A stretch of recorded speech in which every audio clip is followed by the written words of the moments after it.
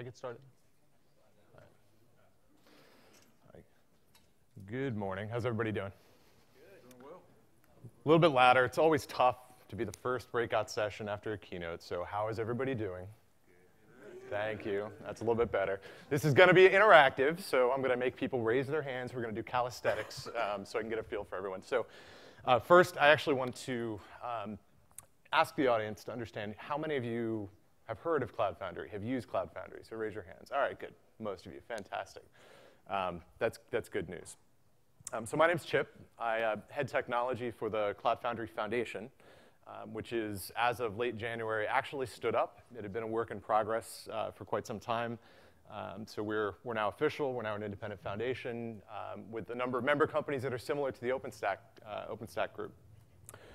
So today what we're going to do is we're going to talk a little bit about uh, the power of two, and, and actually it'll be the power of many, as we spend some time thinking about uh, both the business context within which Cloud Foundry is working and, the, um, and some of the technology behind Cloud Foundry and, and how the two integrate, and how we integrate with some other projects that are further down the stack. So this might seem like the type of thing that you hear all the time. But we are, in fact, at the dawn of a new era as it comes to, uh, as it relates to computing. Um, so, uh, you know, a few decades ago, entire companies had about as much computing power as we have on our phones today. We're, we're hyper-connected. This is changing uh, the nature of business. It's changing the nature of, uh, of innovation. It's changing the nature of competition between companies. And that's, that's really very important because a lot of the consumerization that's occurring within uh, the technology industry is putting a lot of pressure on companies to respond with agility, respond quickly, um, and be able to really keep up with the shifting expectations that are, that are out there for us. Um, so how many of you are familiar with the MIT Sloan School of Business Management? Anybody heard of them? Anybody read their type of articles? So for decades, at least 20 years, um, the Sloan School has been talking about the way for a company to succeed long term being to find a sustainable competitive advantage. And this is the type of thing that's driven corporate strategies. It's driven the way that, that boardrooms think about product investments. It's the way that CEOs have been interviewed. You know, what, are their, what are their thoughts around how to create competitive, sustainable, uh, sustainable advantage? Um, but the Sloan School of Business Management doesn't say that anymore. They've actually said that it's now impossible to maintain a sustainable competitive advantage. And instead, we need to be thinking in terms of continuous innovation. So continuous innovation, this is not just about technology, although technology is one of the leading reasons why you can't sustain that competitive advantage anymore. Um, this is really how the, uh, how you're going to capture the opportunities that present themselves to you as a company, um, this is how you're able to respond as another firm might be taking advantage of technology, iterating faster than you are. This is all really, really important. And, and frankly, the continuous innovation notion is exactly what Cloud Foundry is very focused on. So, how many of you have heard this term before? Water scrum fall. All right. So how many of you do agile development? Yeah? All right. Keep your hands up. Keep your hands up. How many of you deploy continuously to production. Keep your hands up if you do that. Everybody else drop them down. All right, so we're down to like a handful of people. So you're trapped in a water scrum fall model right now. And that is absolutely affecting your ability as engineers if you're developing applications to get the, what the business needs done and out the door. You, so you're trapped. Now what we think you need right now is, is the pairing of cloud native applications with this continuous delivery of business value. Again, that's the continual innovation. Now, we're here, we're here at OpenStack Summit, and there are a lot of projects and a lot of market pressures that are leading different groups to collaborate in different ways on projects that are solving pieces of the puzzle. We have OpenStack, we have Xen project, there's Open Compute, we've got o OPNFV, Docker, obviously, language frameworks like Node. All of these are open source projects, and they're driven by the basic concept that to deliver continuous innovation, we need to be in a position where, as an industry, we're sharing resources in ways that are not going to be um, uh, that are not where we're competing, but in fact in places that allow us to have a platform that we can use to uh, to move forward. And that, that pressure continues, and it's, it's starting to cause the creation of projects like Docker, like Rocket. Um, automation obviously has been around for a long time, and it's, it's part of the solution. And then you have cluster management solutions like Kubernetes and Apache Mesos. There's a lot of work happening out there right now. And a lot of the challenge that the enterprise is going through is how do you take all of this new technology, how do you take all of the business problems that we've got, and come to some sort of a solution that's going to apply the technology to, to help the business move forward. And what companies are doing is that they're, they're going through a selection process to determine what their data center stack is going to look like. Now, what's really interesting is that we're, we're seeing that this is open from top to bottom, whether you're talking about that open compute layer or whether we're talking about projects like Node.js or other language frameworks, open by default is allowing us to then compete in, in other ways, but also collaborate to, to bring the whole industry forward. What we're actually striving for is this concept of a cloud native application platform. So a cloud native application platform is exactly what we just talked about. It's, it's a solution that allows us to um, deploy applications in a way that's going to be allow for continuous delivery. It's a solution that ties deeply into parts of the stack that are underneath and for capabilities that are going to ride on top. So let's, let's think about this for a minute from, uh, from user expectations, from the user expectations perspective. So when you take something like infrastructure as a service and you pair it with an app-centric platform, you're able to actually service really three different categories of, of use cases.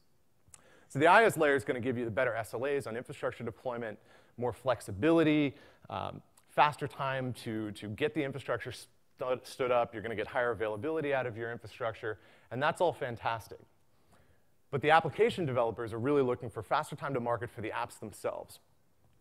They're looking for how do you get that type of agility, that iterative deployment out there? How do you leverage open source software, the new frameworks that you want, the new technologies that you want to deploy without being stymied by an IT department saying, this is the language that we know how to support in production, and so this is what you have to write everything in. You don't get to take advantage of newer technologies. And then the ops side has a problem too. So if the developers are busy speeding up their delivery, they're using new technologies, that presents a real challenge. They're looking at it from the perspective of continuous delivery, ensuring no downtime, focusing on instant scaling, and making sure there's consistency and automation in every environment. So let's just think about the unit of value for a minute. Um, a simplistic way to view this is to say that for infrastructure as a service, the virtual machine is that unit of value that you get. It provides you with an operating system that you can then deploy your applications on. It allows you to do uh, a level of orchestration of the infrastructure, but really you end up in a position where you need to add something like uh, Chef or Puppet. You, you need to think about how you're going to deploy the application within that virtual machine container. And so it's not quite in line with, with what the application developers need. But the unit of value for an application platform is where the containers are transparent. You don't really care what's happening underneath your app. The life cycle's dealt with. You've got system changes in a very declarative way so that you're no longer scripting and dealing with any of the idiosyncrasies there. You're just simply declaring the state that you're looking for. So one way to look at this would be to say, we've got developers and they're producing a whole bunch of artifacts, right? They write code in their IDE. Everybody's heard the joke before, works on my laptop, right? So what's the problem in production? So the goal for an app platform is to be able to take that artifact, the result of the application development pipeline, and turn it into a running production architecture. You know, that seems very simple, right? You need some load balancing, you have an app, you need some type of stateful service underneath it, and you need to be able to run it across a dev environment, a test environment, staging, and production. But really, that's just the day one problem. The day two problem, the day three problem, is how do you have that complete life cycle? whether you're talking about the build application, the push, the maintenance, the updates, and then the retiring. Applications have a lifetime. That lifetime is getting smaller, and that's OK, so it needs to be part of the cycle. So how many of you uh, are familiar with the microservices pattern? Yes? OK, great. Of course, you should be. OpenStack is kind of based on that. Um, this is actually a very important trend. And we've been spending a lot of time with, with enterprise IT shops that are attempting to figure out how they change their development uh, approach from the monolithic approach to the microservices pattern. And it's a really fascinating transition that they're going through. Huge amounts of education, but they're all coming to the realization they need a platform that's going to solve for this. Uh, who here has heard of Martin Fowler? A couple of you? Okay, great. So Martin does a good job of, of looking at the microservices pattern. Now, it, it's not a uh, revolutionary pattern. It's more of an evolution. But there are some emergent properties and emergent requirements that come out of microservices. You have the need for rapid provisioning of infrastructure, right? We talked about that at the IaaS layer. That's going to solve the rapid provisioning problem for us. He describes it as basic monitoring, but I, I, kind of generalize a bit more and say that's basic operability of your application. You need to, by default, have an operable environment. You need to have logging and metrics. You need to have self-healing. Um, third, he describes it as rapid, rapid application deployment. And that's how you take your application pipeline and ensure that it's fully automated end to end, hitting all of your various environments and pulling yourself into, into production. And last, and, and probably most important, is the, is the people aspect. So we, have been describing this in the industry as the DevOps culture. Um, obviously, that's uh, a very well-known term today, but people are what make most of this work. You need a platform, but you're trying to enable people. You're trying to enable your application operations team, your platform operations team, but most importantly, the developers and their line of business partners. So how many of you have looked at 12factor.net before? I told you there were going to be some calisthenics, right? Lots of hand waving around. Good. So some of you have seen this before. Fantastic. So uh, 12-factor uh, applications is kind of another way to describe the microservices pattern. It's a slightly different take. It talks a little bit about um, what are the uh, factors that describe an app that can be considered cloud native. And so I, I, encourage you to take a look at it, but you, know, you can really summarize it um, in, in these basic points. So you use declarative formats to set up your automation. You want to minimize the time for uh, the time and the cost for new developers to be onboarded. Um, you need that clean contract with the underlying operating system for portability. Uh, you need to handle deployment on a modern cloud platform. You need to minimize your divergence from dev to test to production. And really, production, the only real difference between production and any other environment should simply be a function of scale. How many instances are there? How many users are you servicing? Um, that is the ideal state for, for a 12-factor app. And that seems like a lot, but it's actually far from enough. Um, simply just having a solution that solves for those five, uh, five problem domains isn't enough. You have a lot more that you need. You need to be dealing with things like um, cross-service configurations. You need to handle automatic healing. You need to handle HTTP routing on the front end, or, or really any traffic routing on the front end.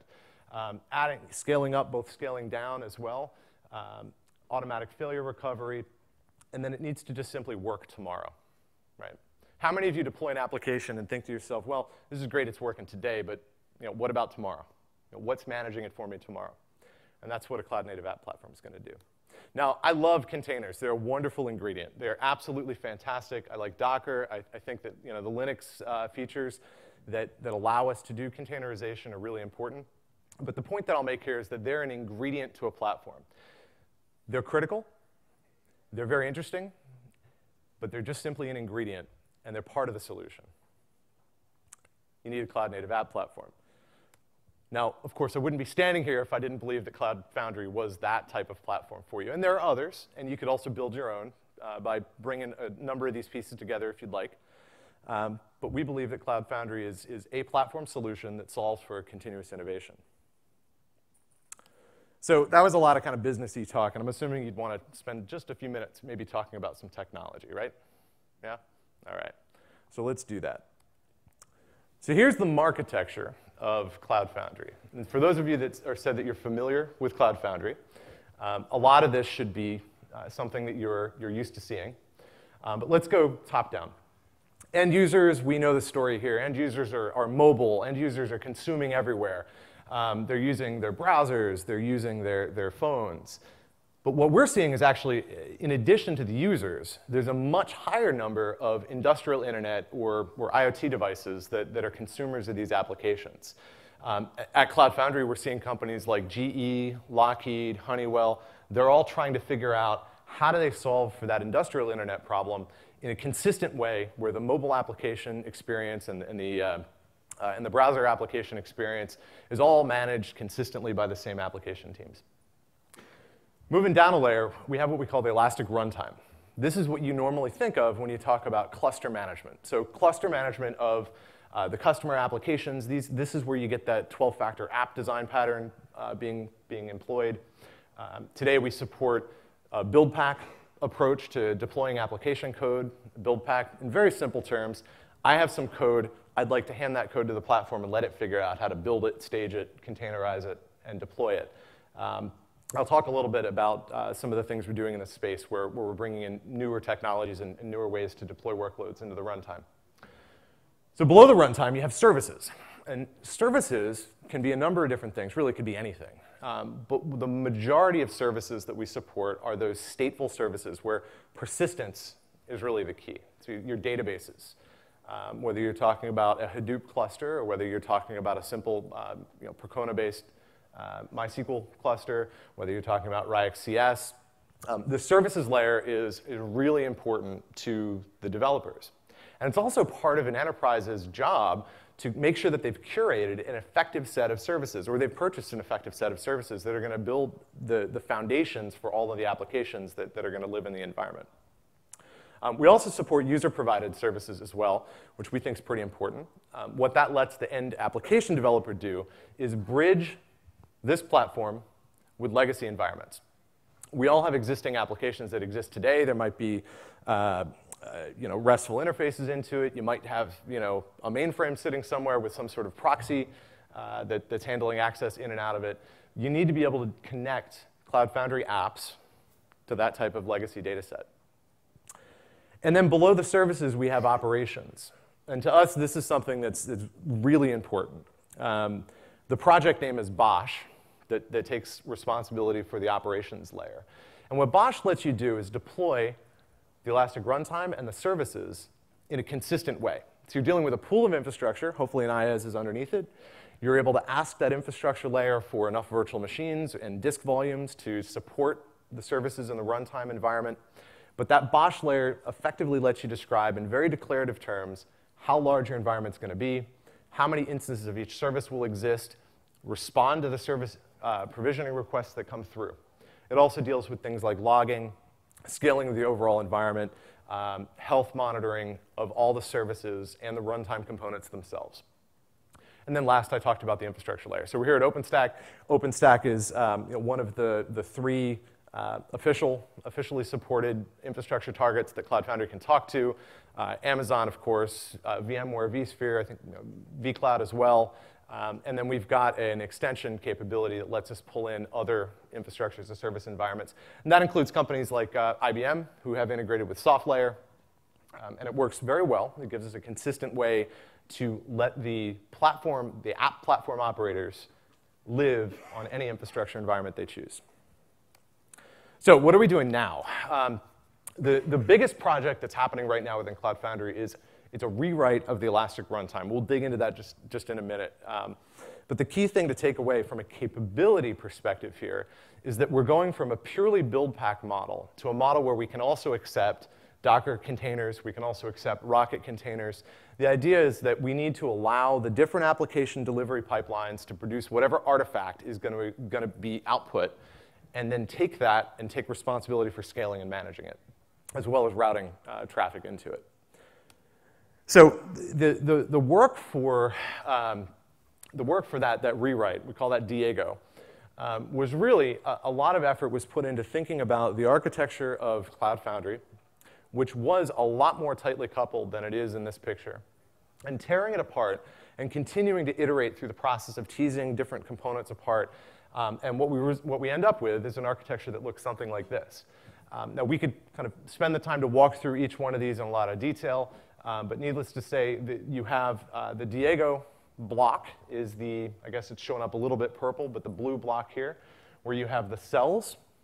In old um, Cloud Foundry terminology, that would be called a DEA, or a droplet execution agent. Um, so today we're calling them cells. There's a number of internal components here. This is allowing us to actually support not just Linux containers, but we can support uh, containerized solutions for, for Windows. Uh, in fact, we've got a number of different uh, approaches to that as well that are in the ecosystem. And it's a very, it's a very general purpose container environment. Um, we call that Garden, and then there's a Garden Linux or a Garden Windows implementation of it. And that's where you would see something like Garden Docker, Garden Rocket. Um, and we've, we've been able to allow the containers to uh, live within the environment, uh, within the cell, uh, in a way that can accept whatever that, that artifact is going to look like. So below it, we've got things like the BBS and the brain. This is really what's managing the overall cluster. it's tracking desired state versus actual state. And that's probably the hardest problem uh, when we're dealing with infrastructure automation, right? So we, everybody here should understand that. Um, once you describe what you're looking for, uh, that's great. Then you have this thing that's for real and it exists. And those two are supposed to match, but we know that you're going to have changes to desired state that need to be reflected in real, in the real state, and you know that you're going to have occurrences that happen in the real state that have to be reflected in, in what you expect um, or what you're tracking as the, the desired state. So the thing that we've figured out, though, is that deploying platforms can be pretty hard. How many of you have actually deployed something like Cloud Foundry before? Yeah, well, not, not that many, but all right, how many of you deployed OpenStack? All right, platforms are hard. Um, a lot of product companies do a great job of, of trying to smooth out the edges, but complex distributed systems are just fundamentally difficult to deploy, especially when you're talking about data center scale.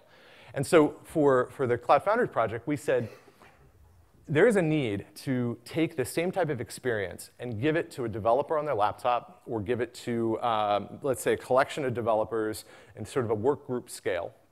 And we wanted to make that a lot simpler. So everyone here, of course, has used Vagrant before, right? Vagrant, or how many of you use Terraform from HashiCorp? No? All right. Developers love those tools. One command, you get an environment up. With one command, you get either a virtual machine with maybe a bunch of components running inside of it, or with Terraform, you can do things like run, deploy entire clusters with one command out on, out on an OpenStack-based cloud. And so this is where we've created Lattice.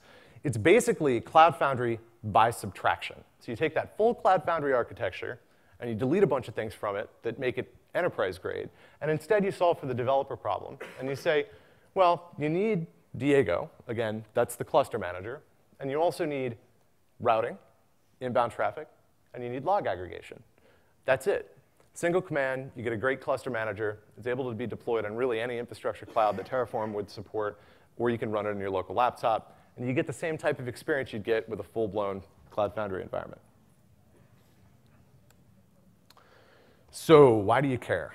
I've been kind of yammering at you for a little while. Um, so why do you actually care about this? It depends on who you are. So I think there's three reasons. So first, if you have OpenStack installed, this is going to help unlock some of the investment. You know, the promise of infrastructure as a service is that level of agility that you're looking for, the virtual machines being deployed very quickly, access to the infrastructure in an elastic way. But to really unlock that value, you have to hand it all the way to the developer in a way that lets them simply code and scale. Code, deploy, and scale. And so that is, is how we believe that you're unlocking uh, a lot of that investment in, in what you're doing with OpenStack. The second is that I spent a lot of time talking about continual innovation. The reason for that was that that's where the business value is. My favorite quote um, in the last few months uh, was from uh, Michael Cote, who used to be with 451 Research. He's bounced around the industry. He's at Pivotal right now. Um, and my favorite quote from him recently was, um, great job deploying those, serv those servers said no CIO ever, right? How many CIOs actually said, great job deploying those servers, I've just achieved our quarterly business objectives? None, right? This allows you to get closer to the, the business value uh, that, that where the business users actually see value. It's the applications themselves. Um, and then last, we're deployed all over the place right now. So if you're, if you're sitting in this room and you're a SaaS provider or you're an ISV, highly recommend you take a look at, at um, BOSH enabling your software. Um, we're, we're in a ton of Fortune 500s right now, GE, Lockheed, Humana, Allstate, kind of list goes on, uh, really big in Wall Street. So there's a lot of value to be added there if you're a, if you're a SaaS provider. So we'll, we'll step back a minute then.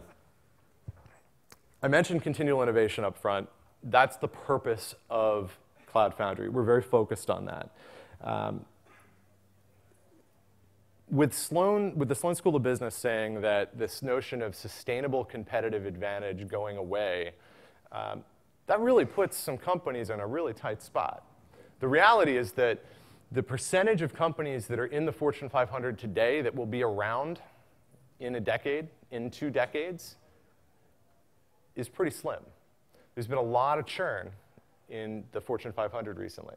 And we're going to continue to see that accelerate. And that's, that is a function of disruption, largely driven through technology, that's forcing us into a situation where you have to have continual innovation to survive. You can't have that sustainable competitive advantage.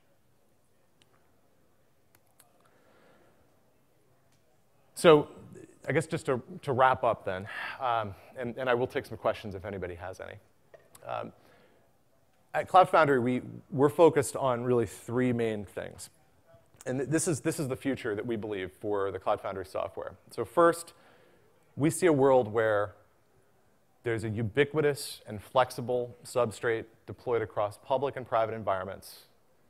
It's likely going to be coupled with OpenStack, with a number of other open source projects underneath, with a lot of open source software frameworks that we support above.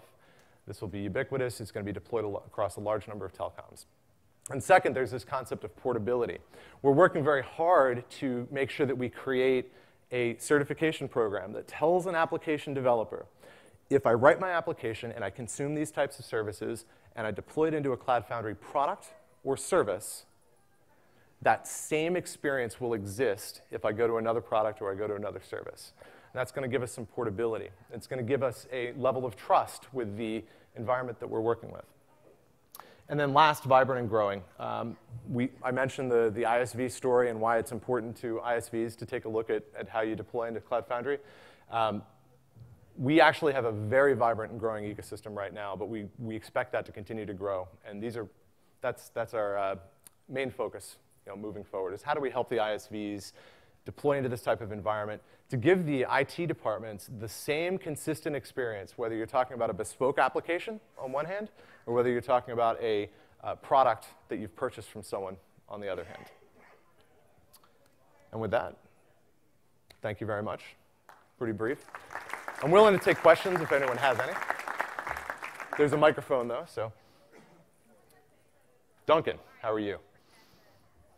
Very well. Um, if you flip back to the slide where you had uh, the, the, the, new activity in the sort of build pack, uh, in the Elastic runtime.